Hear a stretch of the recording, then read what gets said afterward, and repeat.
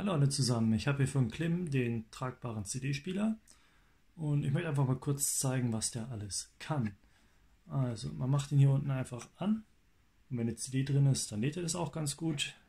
Normale CDs liest der super und ich kann sogar joggen gehen damit. Also im Vergleich zu meinem alten, der wirklich schon mehrere Jahre oder Jahrzehnte schon alt ist, ähm, ist dieses Modell, was dieses Anti-Schock angeht, hervorragend, muss ich sagen.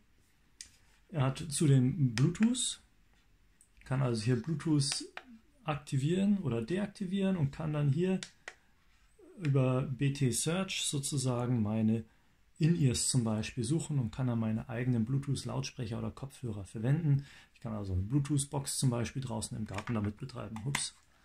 So, all das ist möglich mit diesem ähm, ja, tragbaren CD-Spieler. Wobei, als ich Bluetooth aktiviert habe, kann man ein ganz leichtes Rauschen zum Beispiel in meinen In-Ears hören.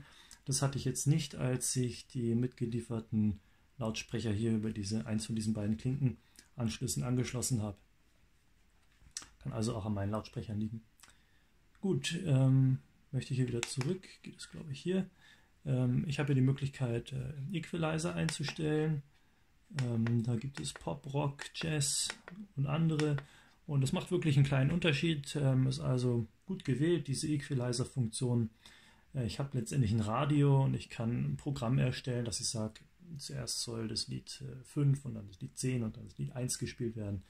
Also alles das ist mit diesem CD-Spieler möglich. Kommen wir nochmal kurz dazu, was er abspielen kann. Ich habe wie gesagt normale CDs keine Probleme gehabt.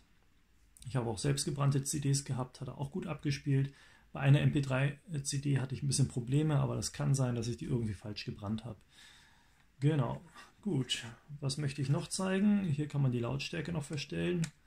Ähm, die ist relativ laut, muss ich sagen, und ich hätte mir gewünscht, dass hier vielleicht ein bisschen mehr Abstufung nach unten hin möglich gewesen wäre.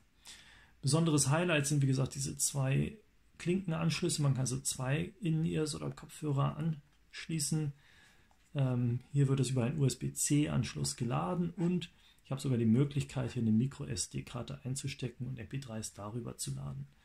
Kommen wir vielleicht nochmal kurz zur Verarbeitung. Ich weiß nicht, ob man das so gut sieht. Also die Verarbeitung ist völlig in Ordnung, ähm, ist aber noch ein bisschen weit davon entfernt, sage ich jetzt mal, vom CD-Spieler, der jetzt mehrere hundert Euro kostet. Also ähm, das ist jetzt vielleicht nicht 100% äh, gerade verklebt, aber in diesem Preisbereich hätte ich auch nichts anderes erwartet.